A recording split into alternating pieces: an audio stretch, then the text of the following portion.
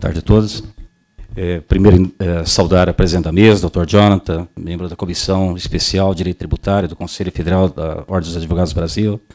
É, saudar os palestrantes, doutor José Paulo Neves, que acabou de falar, doutor Alessandro Rostano, que falaram lá na sequência, presidente da comissão aqui do Contencioso Administrativo Tributário, aqui da UAB São Paulo, os debatedores, Dr. Robson, Dr. Coriolando, diretor aqui da FIComércio, é, cumprimentar a, UAB por meio da Comissão do Contencioso Administrativo Tributário pela organização desse evento, assim fazer também é, a FIComércio, é, cumprimentar os congressistas e permita-me, é, presidente, cumprimentar os congressistas, é, se não todos os advogados, né, é, militantes, mas cumprimentar na figura de duas pessoas e essas duas pessoas seriam a doutora Fernanda Paris e a doutora Isabela Bonfá, que advogadas, amigas e colegas do nosso grupo de estudo, da professora Elizabeth Nazar Carrasa, que temos a honra de, de, de ter como mestre, né, doutor Robson? E uh, que uh, somos,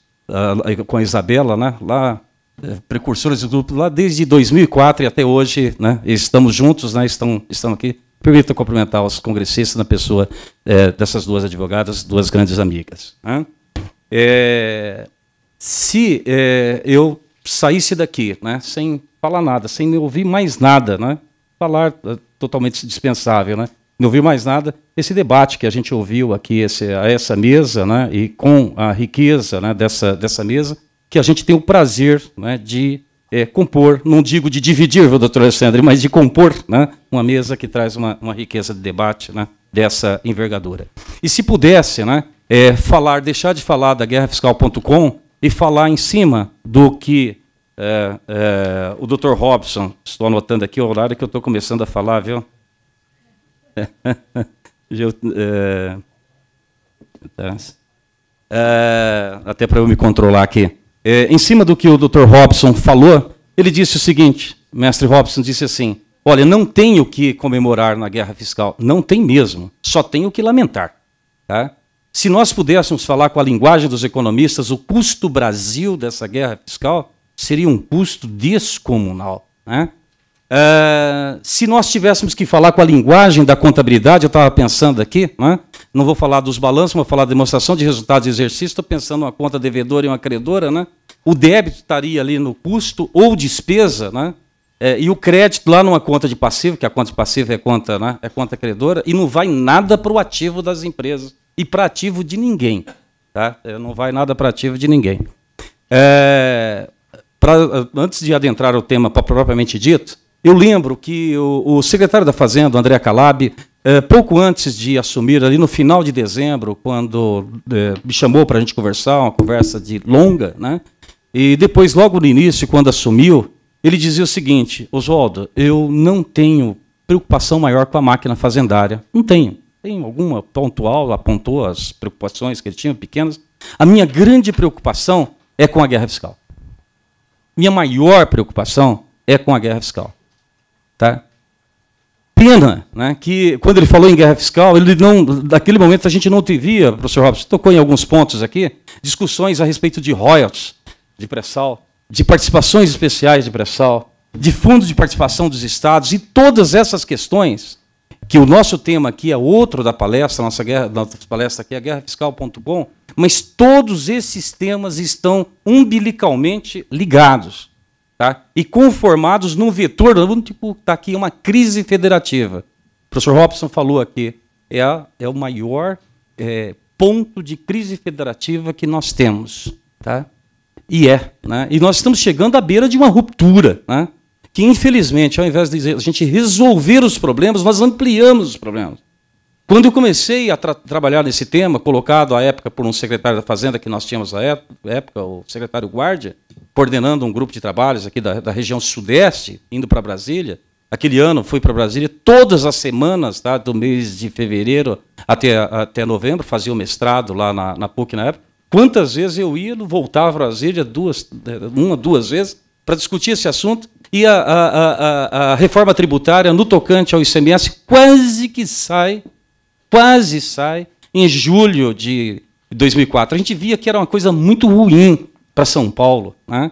Mas olha, Robson, se tivesse saído, o quanto custava, era melhor que tivesse saído. E só não saiu aquela, aquela reforma naquele momento efe, pelo efeito Severino Cavalcante. Só foi isso, só por esse motivo que não saiu. O presidente da, o presidente da comissão especial de reforma tributária era um deputado mineiro, né, que uh, ousou né, uh, de, enfrentar o partido dele à época tá? e disputar aí uma, uma, uma eleição, e a, a, apareceu o fenômeno Severino Cavalcante, ele era o presidente da Comissão Especial de Reforma Tributária, com isso não avançou. Né? A gente via como extremamente ruim, mas olha, era muito menos ruim de tudo que veio supervenientemente e aí se ampliou todas as questões. Hoje a gente discute na Robson, o Supremo com o seu ativismo, e não tem jeito, porque o Legislativo muitas das vezes não atua nessa linha que foi aqui dito. O que, que o Supremo fez lá no tocante ao, SP, ao FPE, Fundo de Participação dos Estados? Disse o seguinte: olha, é inconstitucional esse critério de distribuição de acordo com o artigo 62 aqui, com a emenda constitucional 62. É inconstitucional. Olha, Estados, e eu estou modulando os efeitos, hein? Até o final do ano que vem, vocês resolvam e se componham para estabelecer novos critérios, tá? Que senão eu vou dizer quais são os critérios, tá? Bom, para piorar a situação, agora nessas discussões todas de pré-sal, royalties de pré-sal, participações especiais, querem mudar toda a regra do jogo e colocar a distribuição aí estados produtores, não produtores, aquela coisa toda. Rio Grande do Norte é muito é muito afetado, né? É quer colocar de acordo com a fundo de participação dos estados atual que já foi declarado inconstitucional. E aí discussões lá, desculpa que eu conheci, tive o prazer de conhecer hoje pessoalmente, que eu não, não tínhamos ainda conversado é, é, é, é ainda uma única vez, conheço pelo Facebook, conheço pelo IBET, todas as referências, a doutora, a doutora e professora Marta Neves, né? que, que aqui está.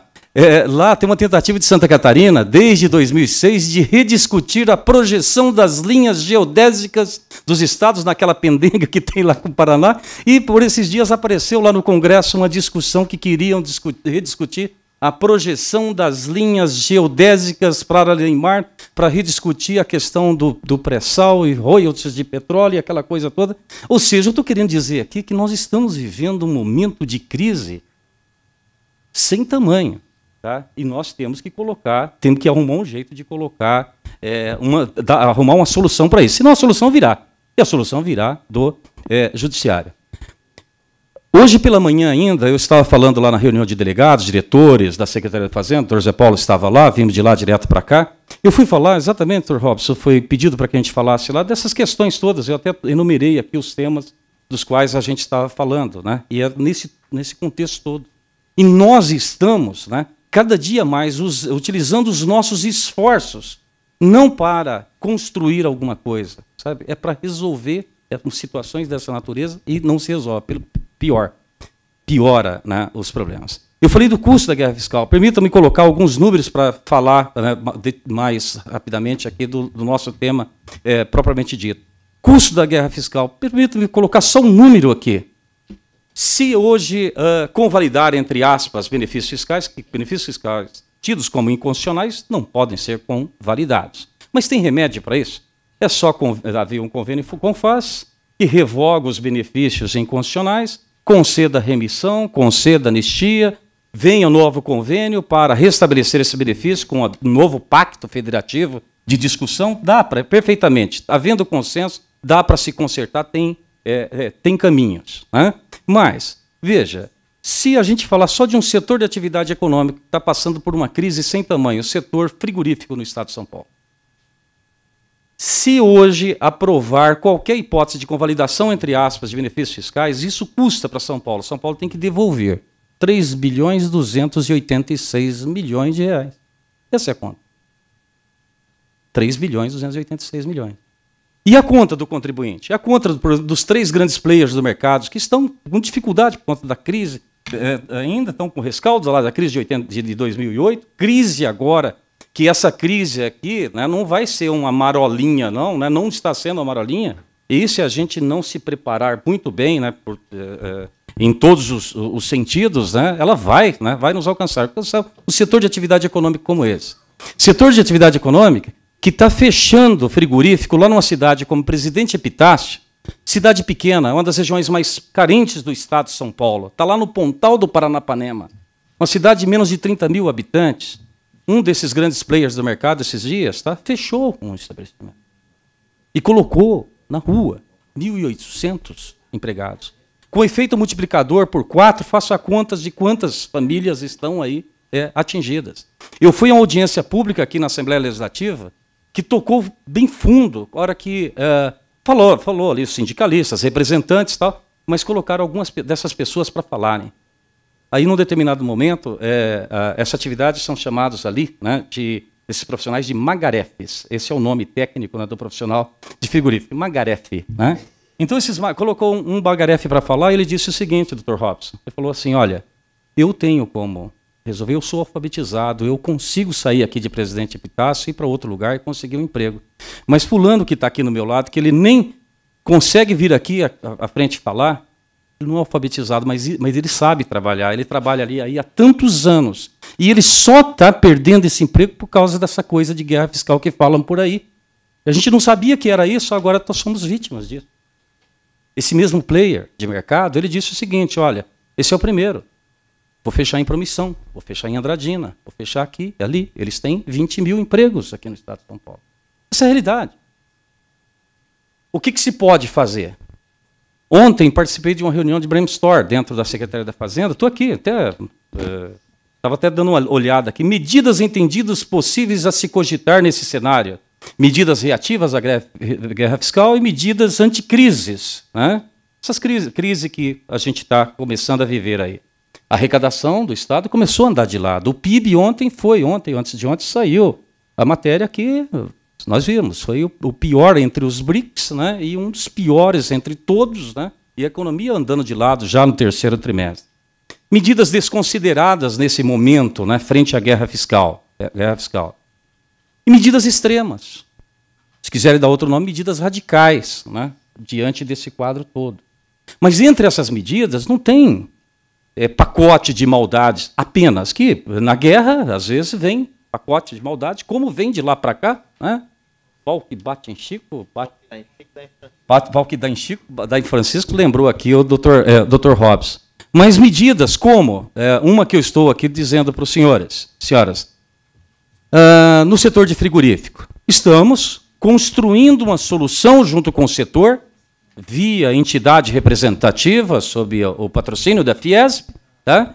para que ela tem, eles têm, estão com os créditos obstruídos, porque a guerra fiscal determina o quê? A lavratura do auto-infração, lavratura do auto-infração julgado no TIT definitivamente, ele é inscrito em dívida ativa, inscrito em dívida ativa, ele vira débito impediente para que os contribuintes possam recuperar os seus créditos, especialmente os créditos de exportação. Esses contribuintes estão com os créditos represados. Eu disse de um que fechou unidades, mas tem é, grande contribuinte aí em recuperação judicial, por conta de guerra fiscal e crise, é, essa crise toda. Né? Então, o que, que se está fazendo? Estamos criando, tentando criar uma solução para dar fluidez ao crédito acumulado. E qual é a condição, Dr. Robson? A condição única é a seguinte: é encontrar um, uma forma, um critério de que os débitos decorrentes de guerra fiscal não sejam motivos impedientes para que os contribuintes possam dar fluidez ao crédito acumulado. Estou dando um exemplo, entre tantos que a gente poderia estar dando, de situações que, como gestor público, você tem a sua responsabilidade. Quando eu fui delegado tributário lá no interior, do, por oito anos, a gente tinha que assinar os cheques. Era um verdadeiro cheque, né? uma moeda escritural de devolução dos créditos acumulados. Se vem um crédito eivado, de, tido como inconstitucional, uma autoridade né, pública, um delegado tributário, ele não pode assinar a liberação do crédito acumulado. Por quê? por, causa por conta da vinculação né, da, da, sua atividade. Existem responsabilidades. E você está buscando, né, e dentro dessa responsabilidade, momentos de crise como esse, medidas reativas, porque se a DIN né, é ineficaz. Ineficaz por quê? Porque, por conta do que o professor Robson falou aqui, não preciso repetir, que ele falou melhor que eu. Né? Uh, glosa de crédito, está aí né, o instrumento. Conceder benefícios reativos e, e, olha, a guerra fiscal chegou a um ponto de esgotamento. Esgotamento. E só para concluir com o número de frigoríficos, para os senhores terem uma ideia, o que é benefício fiscal? No estado de São Paulo, abate-se 13% do abate nacional. 13%. Porque aqui não temos mais as matrizes, problema de sem terra, problema disso, daquilo, outros problemas macros que levaram tá, os bovinos daqui do estado de São Paulo, a chegada da cana, aquela coisa toda, e foi para onde pode haver apacentamento. Né? Então, lá para Centro-Oeste, lá, lá para o Mato Grosso, Mato Grosso do Sul, Tocantins e por aí afora. O certo é que hoje no estado de São Paulo abate-se 13% dos bovinos do país. Sabe quanto que sai, professor Robson, de é, é, exportação aqui do estado de São Paulo? 57% da exportação sai do estado de São Paulo. E nós, é, é bom que a gente lembre, né, todos sabem, mas só para lembrar, que nós somos os maiores exportadores de carne do mundo. E dessa exportação, 57% sai para São Paulo. Se se abate 13% aqui, é por quê? Porque essa carne vem lá de, de outros estados para buscar benefício aqui, para exportar, para buscar o crédito aqui, porque a, a, a, a guerra fiscal, o benefício é com chapéu alheia. Poderia citar outros números e exemplos. São situações que é só para dizer que o, que o professor Robson falou aqui, assim, não tem que comemorar nada, só tem que lamentar. Os fiscais de renda do Estado de São Paulo que são pagos para procurar fraude. Não, hoje grande parte está contingenciada para verificar a legitimidade do quê? De crédito decorrente de guerra fiscal e mais. Muitos desses benefícios hoje não são publicados. Eles, a gente só toma conhecimento quando alguém tá, é aí desfavorecido, porque arruma um, um, um, um TARE lá no outro estado, um acordo no outro estado, que beneficia um setor. Só que nesse benefício impõe-se condições. Quando um deles não satisfaz as condições, ele é retirado daquele benefício. Ele perde competitividade, ele não tem competitividade. Aí ele vem aqui no Estado denunciar. E é só assim que a gente sabe que existe esse benefício, porque está lá de gaveta. Essa realidade que a gente vive, entre tantas outras, essa é uma situação fática. Tá? É uma questão pragmática que a gente está colocando aqui. Bem, mas num congresso dessa natureza é uma oportunidade bastante interessante essa riqueza que a gente teve aqui de detalhes que a gente aprende, aprende é, e muito, né? Eu a minha fala aqui rapidamente, até porque uh, eu digo que essa guerra fiscal.com, primeiro que não é figura nova, segundo que parece-me que o Supremo, parece-me, né, o Supremo vem atuando muito bem, né? E é mais uma faceta, uma apenas da guerra fiscal. O gênero o professor Zé Paulo, que já deixou a mesa, né? Pô, como que você deixou? O Zé Paulo teve um compromisso particular. Ah, amanhã nós conversamos sobre esse compromisso. Desculpas, e ficou muito chateado pela glosa que nós demos ao tempo dele. É, tá eu quero ir na conversa, Oswaldo, amanhã com ele. Eu quero ir na conversa. Ah, nós vamos nessa conversa, né? Brincadeira. É, e, é, tivemos aí a saída, mas ele já terminou e já teve o. teve, nós tivemos os debates aí com ele, né? Então, no caso da guerrafiscal.com, eu ia falar do, do Dr. Zé Paulo, ele já falou sobre o tema guerra fiscal, e vamos agora falar rapidamente da chamada guerrafiscal.com. No tocante, viu, é, Dr. Jonas, sei que você está escrevendo um artigo, eu prometi de mandar o meu, que eu escrevi para o livro do, do IBET, lá nós tocamos nos aspectos eminentemente jurídicos, aspectos formais e materiais, né, que nós vemos na, nas inconstitucionalidades da guerrafiscal.com sob a nossa ótica, a questão né, de domicílio, novas figuras de criação de domicílio, aquela coisa toda. Esses aspectos aí, eu não vou tocar aqui, até porque o Congresso aqui ele tem essa, esse contexto que, que foi falado. E eu quero dar essa continuidade, tocando sim em aspectos jurídicos, mas alguma coisa também continuando em aspecto de política do direito, né? para a gente poder é, avançar um pouquinho. Tá? Então, é, me propus aí a fazer uma introdução é, em que nós procuraríamos uniformizar o conceito, como que tudo isso começou, uma perspectiva jurídica sob o manto aí da Constituição de 88, até chegar à questão do famigerado Protocolo 21, recente, o impacto financeiro para São Paulo, né? Eu me permito, eu coloquei o fundo aí da, do brasão da Secretaria da, da Fazenda do Estado de São Paulo, que nós somos convidados. É, na verdade, quem foi convidado foi o André Sandro Calabro, nosso secretário da Fazenda, e cometeu a gente essa, tarefa de vir aqui né, falar com, com os senhores, por isso eu mantive aqui o fundo da, da, da, da de São Paulo, que foi sobre é, essa condição que, que a gente veio. Né? O impacto financeiro para São Paulo e as rápidas conclusões. Né? Com respeito à, à uniformização de conceitos, comércio eletrônico. O que, que é? Venda de mercadorias por meio de sítios na rede mundial de computadores. 88 a gente praticamente não tinha isso, comércio não presencial. Ou melhor, 88 não tinha internet. Eu lembro que o Bill Gates escreveu o livro A Estrada do Futuro em 95. Né? Quando em 95 ele falava de tudo isso que ia acontecer, falaram que ele era um maluco. Né? Né? E em 97 nós já tivemos o Internet Navigator, né? Dois anos ó, depois, e olha o que, que virou né? a rede mundial, e com isso o comércio pelo não presencial, pela, pela, pela rede mundial, aumentou abruptamente. Né? Então, em 88 a gente não tinha essa realidade. O que seria a guerrafiscal.com? Né? Nessa esteira do que o, o Dr. Zé Paulo aqui falou. Os estados cobram um diferencial de alíquota, na verdade é um verdadeiro adicional de ICMS, veja que eu aspiei, por alguns estados, alguns gostaram no início, depois muitos outros gostaram, né? Nas operações com consumidores finais ou não contribuintes do, texto, do ICMS. Em, eu vou colocar o advérbio, né? em flagrante conflito com o texto constitucional. Né? Como tudo começou? Começou lá em 2008, né? primeiro o estado do Ceará. Né? Ele criou uma lei em 2008, regulamentou essa lei em 2009, exigiu uma cobrança de um adicional de ICMS eh, de 10% e 7,5% em tal e qual situação. Quando entrasse naquele estado, mercadorias ou bens oriundos de outra unidade de federação, quando o valor ultrapassasse a cifra de R$ 1.200. Né? Pelo menos colocou relevância, né? só acima de R$ 1.200. Logo depois, o Mato Grosso, é, uma, não Mato Grosso do Sul, Mato Grosso, também editou um decreto que a pretexto de criar algumas obrigações acessórias, como eu coloco aí, voltado para a fiscalização, na prática autorizou uma, uma, uma incidência tributária nova nas operações é, interestaduais. Tá? Falando ainda de uma perspectiva jurídica, eu digo, é como aquele, uh, uh, aquele comentarista de futebol de uma determinada rede de TV, que foi árbitro, ele disse o seguinte, a regra é, a regra é clara, né? a Constituição é clara aí, né? diz que, com respeito a isso, compete aos Estados o ICMS em relação às operações e prestações que destinem bens e serviços a consumidor final localizado em outro Estado. E adotar-se ao quê? A. Alíquota interestadual quando o destinatário for contribuinte do imposto. B. Alíquota interna quando o destinatário não for contribuinte dele. Então, se o destinatário lá é não contribuinte ou consumidor final, né, qual é a alíquota? A alíquota interna. No caso aqui do Estado de São Paulo, a alíquota é de 18%. Diz mais o nosso livrinho máximo, né? Das nossas regras máximas lá. Sem prejuízo de outras garantias, é vedado, nas limitações do poder de tributar, né? Estabelecer, estabelecer limitações de tráfego né? de pessoas ou bens né? por meio de tributos interestaduais.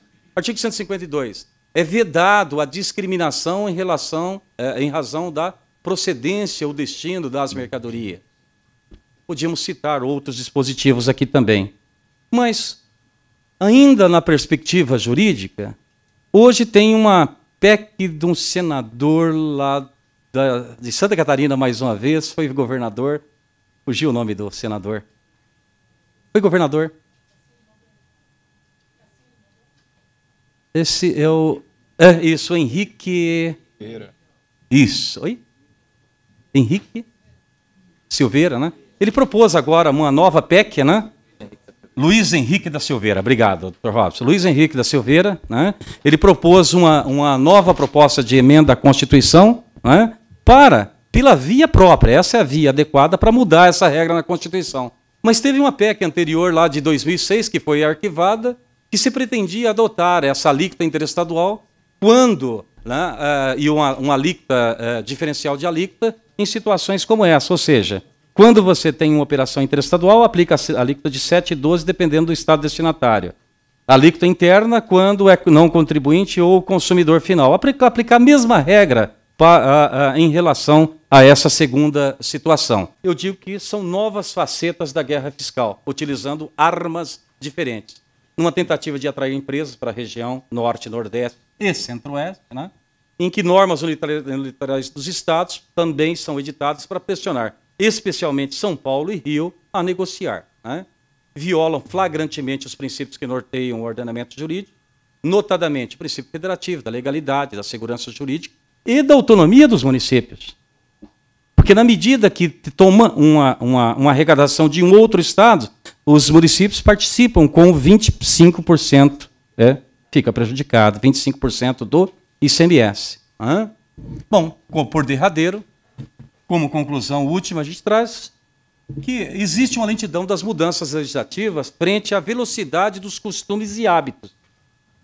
Colocamos aqui, em 88 não tinha comércio não presencial, não tinha comércio pela internet. Né? E temos uma lentidão das mudanças legislativas, uma lentidão, inclusive, né, de acordo entre os estados para resolver questões de guerra fiscal como um todo, inclusive essa. Né? São novas exigências eh, tributárias unilaterais, tá? em flagrante descompasso e contradição com a competência constitucional fixada, né, fixa parâmetro, tá? para a cobrança do ICMS. É uma questão de reforma tributária né, e deve ser enfrentada pelo Poder Legislativo numa discussão dentro do Pacto Federativo. Tais normas atualmente adotadas por esses estados, coloquei entre parênteses guerreiros, estão recheadas de inconstitucionalidades e ilegalidades que levam os contribuintes a se socorrerem do Poder Judiciário para afastá-la.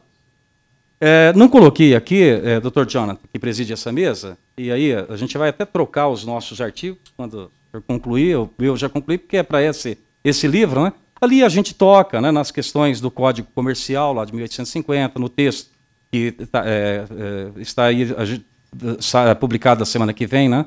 toca né, na questão do direito empresarial, é, à luz do Código Civil, do direito de empresa. É, os estados do Nordeste, na nossa percepção, querem legislar sobre uma matéria que ele não tem competência, que é competência da União, é legislar sobre domicílio, criando a figura aí do domicílio virtual, e aspectos que nós abordamos aí, que nós chamamos de incompetência formal, e também no campo material, que na verdade nós fomos levados a estudar esse assunto lá na Secretaria da Fazenda para uh, uh, ingressar com na qualidade de amicus curiae nessas ADIs e também nesse, nessa discussão do, do, do de um ADPF, é, é, do comunicado CAT, desculpa, comunicado CAT, do protocolo, né, é, do protocolo 21 do, do CONFAS, e como nós enfrentamos essa matéria, o que nós fizemos fazer a adaptação necessária né, em forma de publicação, e ali tem muito mais né, um pensamento né, da, é, da Secretaria da Fazenda, que nós é, é, é, coordenamos o grupo de debates e escrevemos, né, então, ali a gente discutiu esses aspectos jurídicos, materiais, formais, e eu quis colocar aqui, bem dentro dessa perspectiva que o professor Robson colocou aqui, de política de direito. O problema é muito maior que esse. Não é uma questão meramente dogmática, se é que a gente pode chamar de meramente dogmática. Né? É uma questão muito maior, né? de uma verdadeira crise federativa em que nós todos temos muita responsabilidade né? para, para enfrentar. Né? Então, com isso, a gente encerra as palavras, agradecer a atenção dos senhores que eh, já estamos aqui passado o horário e temos a palestra. Procurei ser fiel ao horário, doutor Alessandro, né, porque nós temos a vossa palestra. Né? Estamos à disposição para os eventuais debates e perguntas.